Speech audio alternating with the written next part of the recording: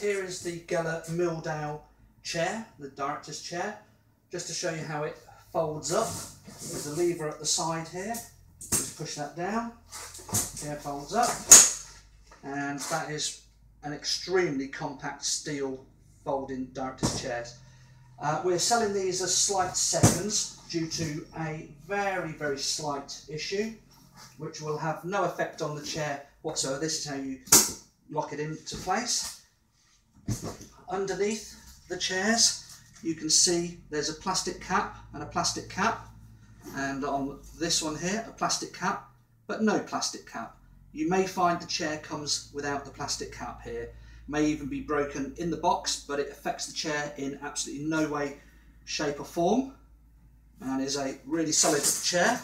Um, and there you go. So that's the Gelert Milldale chair. Slight second, but an amazing price. Cheers.